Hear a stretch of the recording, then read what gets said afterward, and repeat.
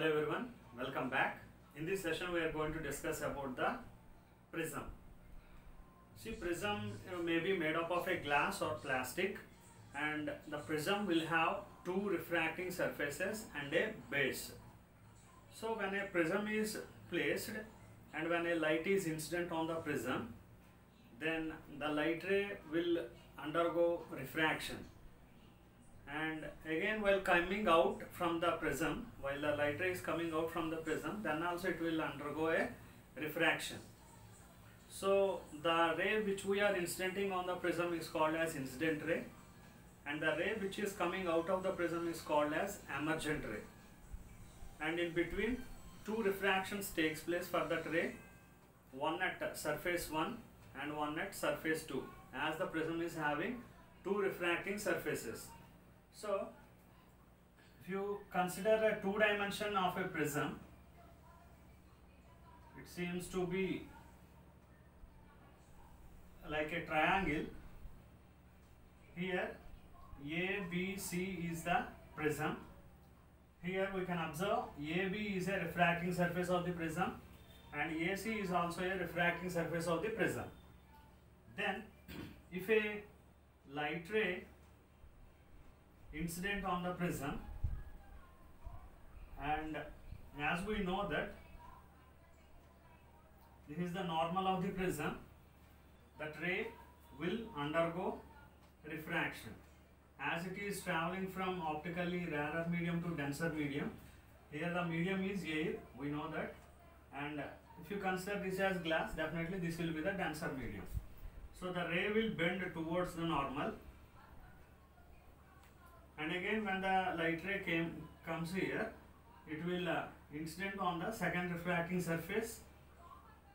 And if you consider this is also a refracting surface sorry this is the normal here.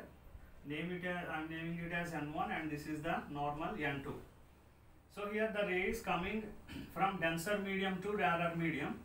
So it will bend towards the normal sorry away from the normal denser to rarer no? So away from the normal. Here towards the normal here away from the normal.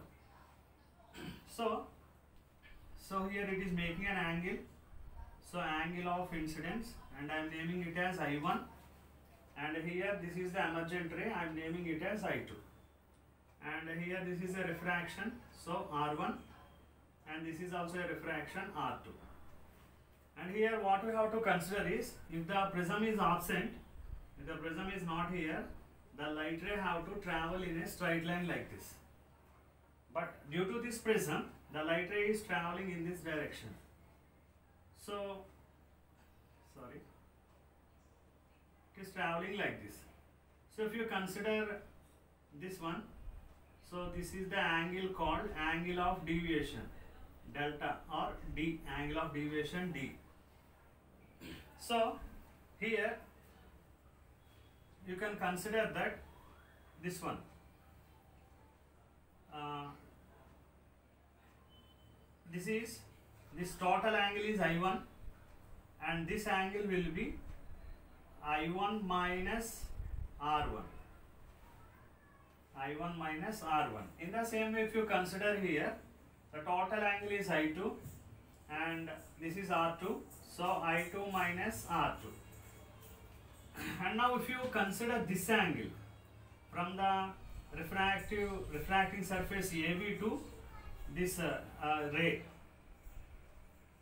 So actually these two rays are perpendicular now normal and uh, refracting surface is perpendicular. That means 90 so this will be 90 minus R1 and if you consider here also the same incidence that means refracting surface to the um, the ray which is passing through the prism.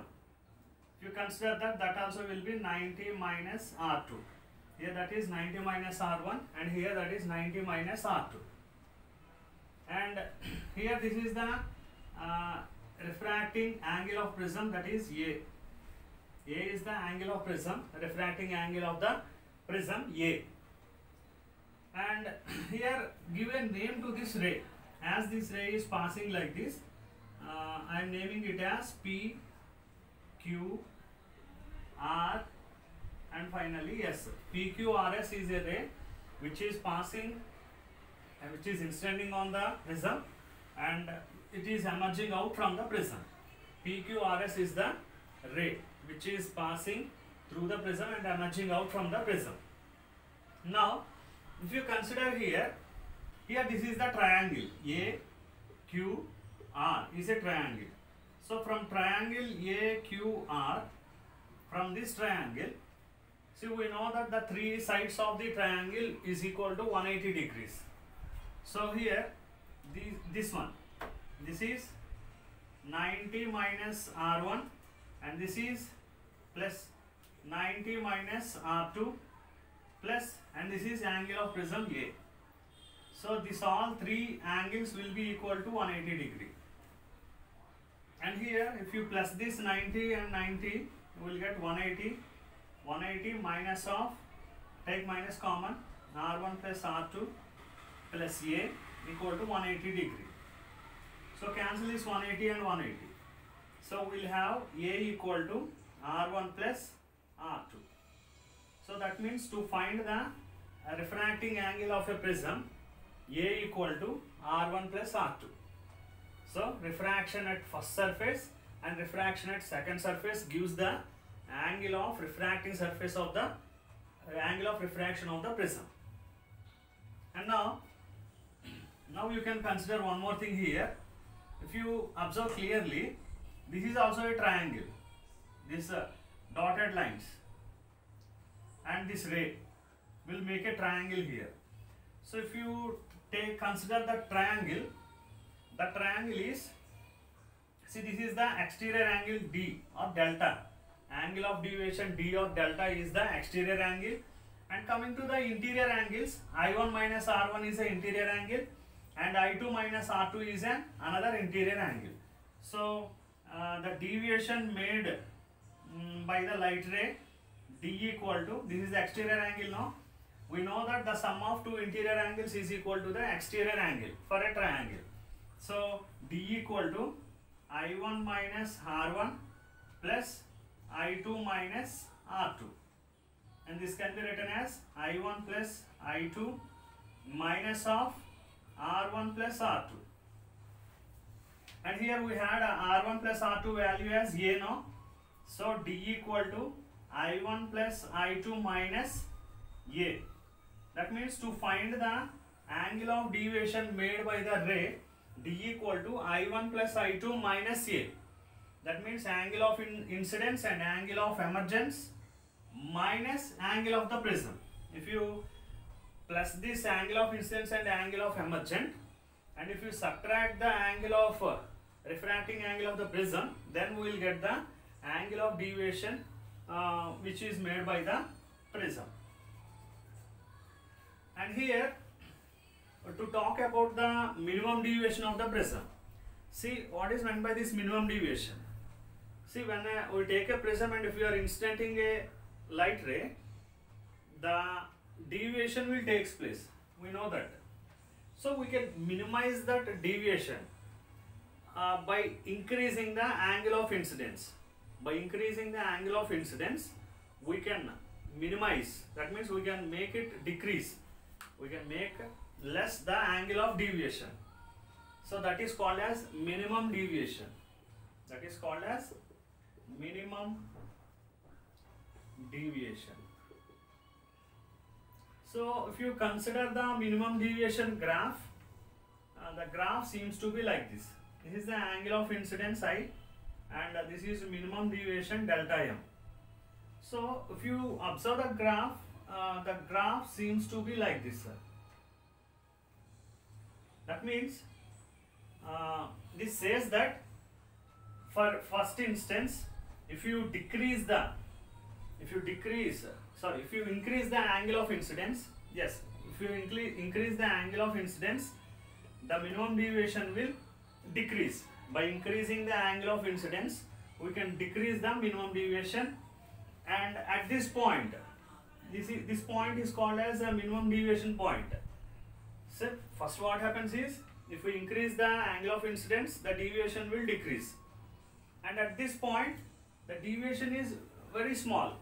That means uh, we can observe the incident ray and emergent ray will be uh, almost straight.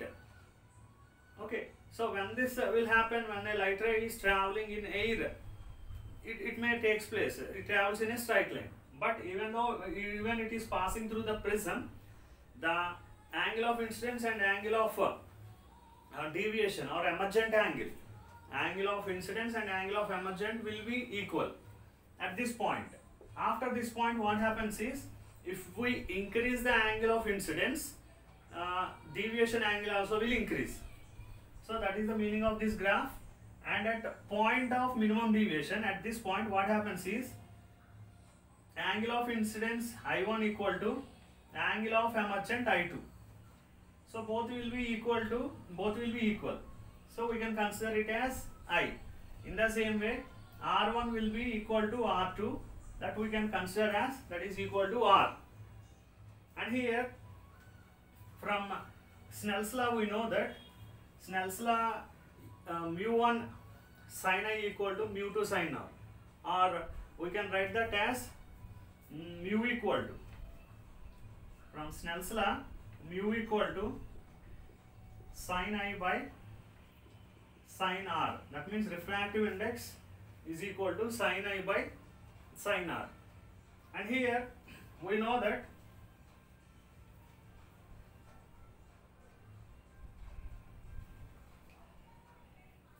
so first you consider this equation a equal to r1 plus r2 no at the point of minimum deviation uh, if you consider that a equal to r1 equal to r2 that equal to r no so we can write it as a equal to r plus r that means a equal to 2r or r equal to a by 2 okay r refractive uh, angle of refraction r equal to a by 2 in the same way here if you consider this equation also uh, d equal to i1 plus i2 minus a. That means uh, d equal to as the at point of uh, minimum deviation both are equal no? So we can write it as i plus i minus a. That means 2i minus a d equal to or uh, 2i equal to a plus d or i equal to a plus d by 2 so here we got i value and r value also. If you substitute this i value and r value in this equation snell's law we will get mu equal to sine i means a plus d by 2 a plus d by 2 and this deviation is minimum deviation. So dm by 2 by sine r means a by 2 so sine a by 2 that means to find the refractive index of the prism mu equal to sine a plus dm by 2 by sine a by 2 so we can find the refractive index of the prism.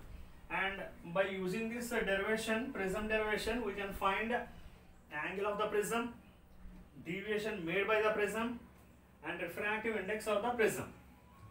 And at minimum deviation and one more thing we can consider here at minimum deviation mm, this uh, ray is there now which is passing. Which is passing through the prism. That ray will be parallel to the base. It will be parallel to the base. That means that means it will be straight.